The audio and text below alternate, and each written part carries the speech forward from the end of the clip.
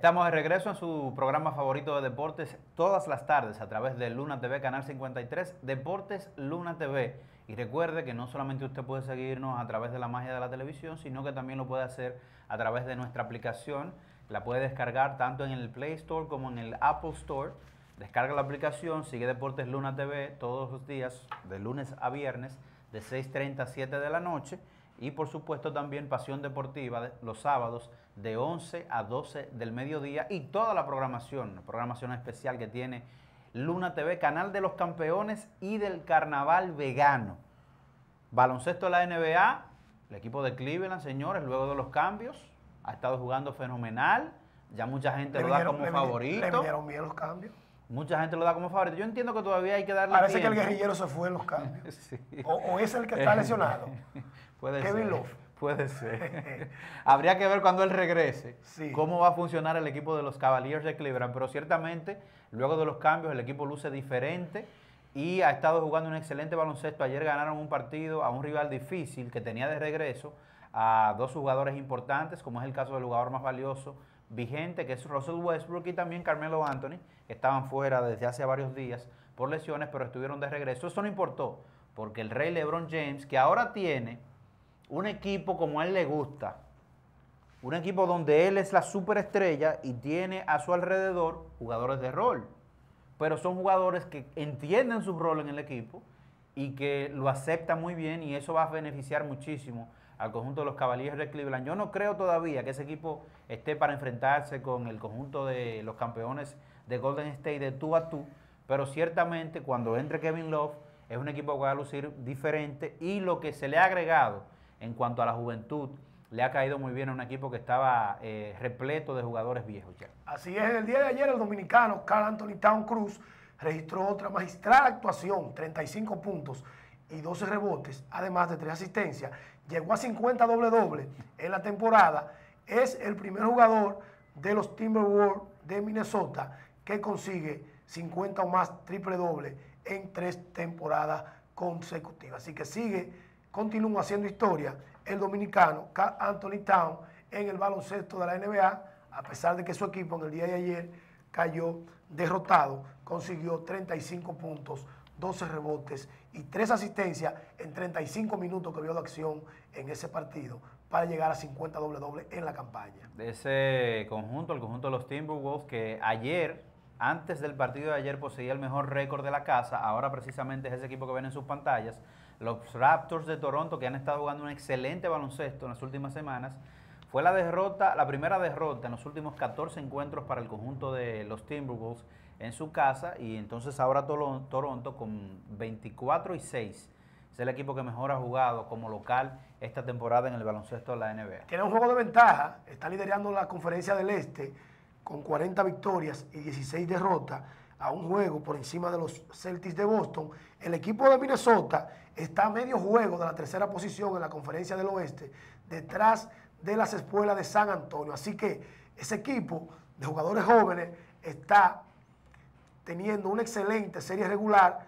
Hay que contar con ellos para los playoffs del baloncesto de la NBA. Vámonos con los partidos para el día de hoy, un total de dos encuentros en la jornada de hoy, que es la penúltima previa al partido de las estrellas, solamente se jugará hasta mañana, partidos oficiales, y ya luego entonces todo el fin de semana estará dedicado al partido de las estrellas del baloncesto de la NBA. A las 8 de la noche hay un total de tres encuentros.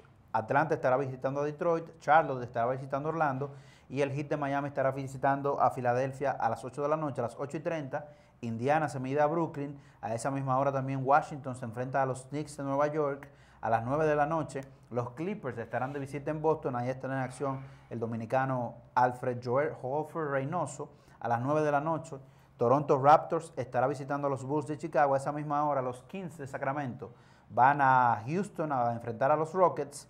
Oklahoma se enfrenta a Memphis a las 9 de la noche también. A esa misma hora, los Lakers estarán visitando a los Pelicans de New Orleans a las 10 de la noche. Phoenix estará en Utah. Y a las 11 y 30, el último partido de la jornada del día de hoy, los campeones de Golden State estarán visitando a Portland. Así es, en el día de hoy a las 3 de la tarde específicamente, a través de una rueda de prensa que se dio a conocer en el salón de conferencias James Rodríguez, Jess Rodríguez, del Ministerio de Deporte, pues la Federación Dominicana de Baloncesto dio a conocer los 12 convocados para la segunda ventana clasificatoria al Mundial 2019 que se estará celebrando en China y el mejor ingrediente que se presentó en el día de hoy, o la novedad, fue la inclusión de Luis David Montero, Pinguilín, ex jugador de la NBA, estuvo recientemente con los Pistons de Detroit, se estará sumando en esta ventana a la selección dominicana que estará jugando el 22 de este mes y el 25 en Bahamas. Ahí están los 12 convocados.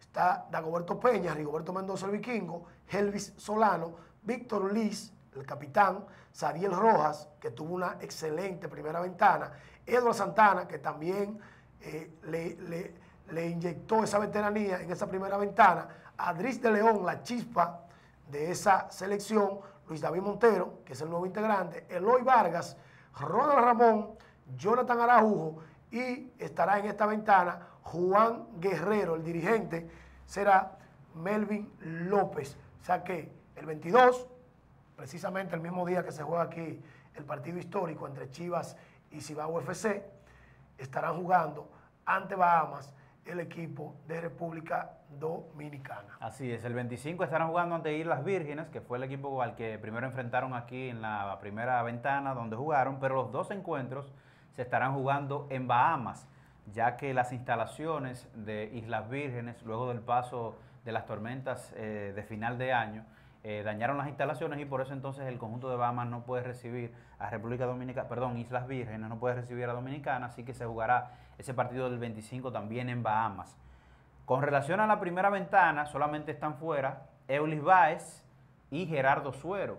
El caso de Gerardo, eh, habría que ver si, como entró Pinguilín, Luis Montero, y sale Eulis Baez, ellos querían una persona de fortaleza en la zona de la pintura que pudiera jugar con jugadores atléticos y altos, y por eso entonces deciden traer a, a Juan Guerrero, que es un jugador que estará debutando en la selección dominicana de mayores y que en los torneos locales ha sido una sensación en el último año y medio, se podría decir, de competencias aquí en la República Dominicana. Un equipo muy atlético, que es lo que realmente se necesita para este tipo de eventos, y básicamente es el mismo núcleo, el mismo núcleo que estuvo jugando en la primera ventana, es el núcleo que estará accionando en esta segunda ventana por República Dominicana. Así es, el inyecta poder en la zona de la pintura con Juan Guerrero y en la ofensiva con Luis David Montero. A Gerardo Suero que se concentre en el torneo de baloncesto superior de distrito que estará iniciando el próximo 21 de marzo. Hablando de torneo de baloncesto superior, en Santiago se está calentando la cosa, ya cuatro equipos tienen definidos sus dirigentes. En el día de ayer, el equipo del Gregorio Urbano Gilbert dio a conocer a Junior García, mejor conocido como Patana, dirigente exitoso del baloncesto vegano, que estará tomando la rienda del conjunto. Ayer hablábamos de eso, de que estaba muy lento, las informaciones están fluyendo muy lentas. Aquí hay un departamento de prensa que está funcionando muy lento y hay que decirlo. Ojalá y que mañana, que hay una rueda de prensa, ya den a conocer las comisiones de trabajo y se pongan las pilas. Y los equipos también, que se pongan las pilas y den las informaciones a conocer. Por ejemplo, en la capital ya se han dado a conocer varios dirigentes y varios jugadores que estarán accionando con los diferentes equipos. En el día de hoy se dio a conocer que Sameji firmó por cinco partidos a Miguel Dicen. Miguel Dicen pertenece a la Badina, pero todavía la Badina no ha decidido a qué club lo va a asignar. Mientras tanto, estará jugando en Santiago cinco partidos con el Club Sameji. Como ustedes saben, el torneo de Santiago inicia el viernes 2 y el de la capital inicia el 21 de marzo. O sea que inicia 19 días después. Entonces, la, la mitad de la regular eh, Miguel Dicen, que pertenece a Metro, en la Liga Nacional de Baloncesto, estará accionando con el Cruz Amé. Así que, Ruperto Ru, te dejaste quitar a Miguel Dicen, ya que lo tenía casi amarrado. Le quedó San México Miguel Dicen, pero lo importante es que el baloncesto de, Santiago se está calentando.